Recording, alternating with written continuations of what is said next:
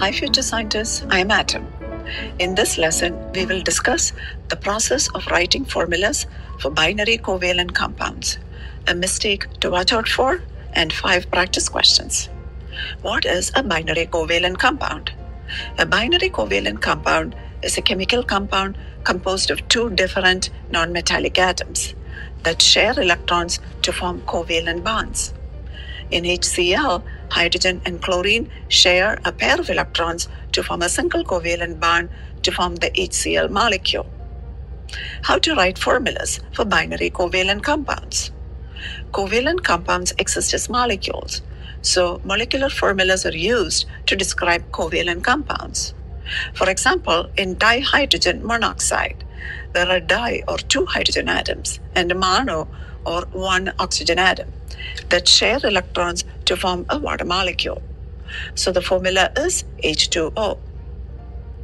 Memorizing the Greek prefixes that designate how many of each atom is in the compound is the key to writing the formula for a binary covalent compound.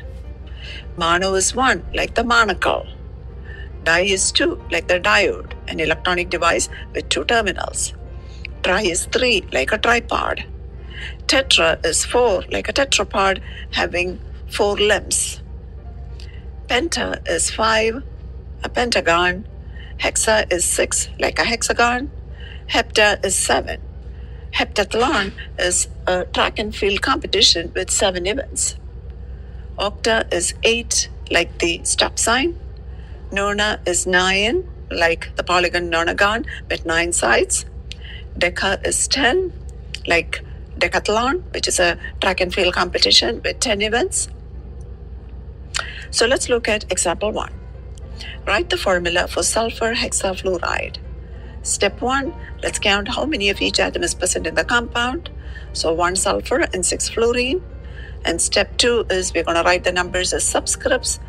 One is not written as a subscript, so the formula is SF6. Example two, now let us write the formula for tetraphosphorus decoxide. So that is 4 phosphorus and 10 oxygen. So that will be P4O10.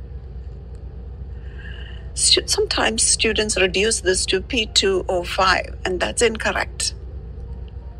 The molecular formula of a covalent molecule needs to accurately reflect the number of atoms of each element present in the molecule.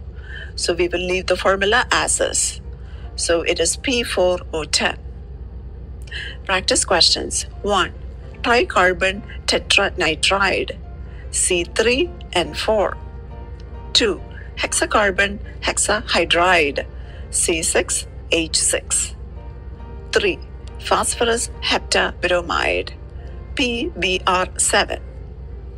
Dinitrogen monoxide, N2O. Tetraphosphorus octasulfide, P4S8. There you have it. Writing formulas for covalent compounds made simple.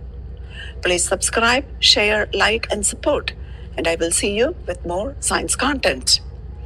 Happy learning. Thank you.